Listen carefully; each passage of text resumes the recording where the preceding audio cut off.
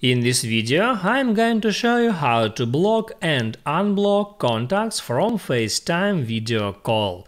That is quite simple and easy to do, so let's begin.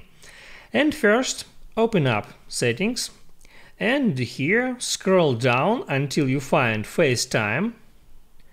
Then scroll down to the very bottom and tap at Blocked Contacts.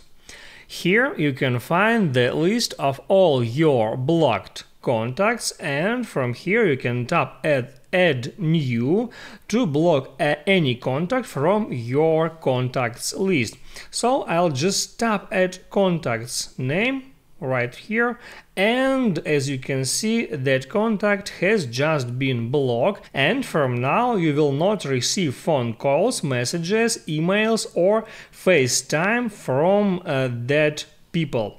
Also in any time you can go back here and unblock any contact. Just swipe to the left on that contact's name and here tap and unblock.